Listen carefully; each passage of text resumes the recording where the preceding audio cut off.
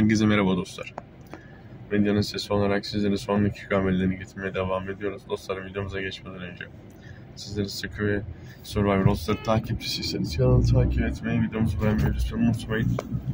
Biliyorsunuz ki All-Star hakkındaki bazı e, gelişmeler hakkında sizlere bilgilendirmek istiyorum.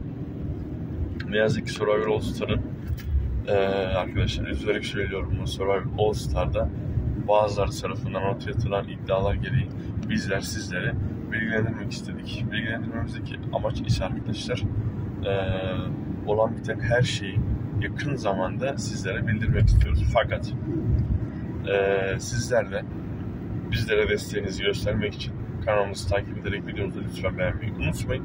Hepinizi yorumlara davet ediyorum. Allah'a emanet olun. Bir sonraki videomuzda görüşmek dileğiyle arkadaşlar. Kalın sağlıcakla.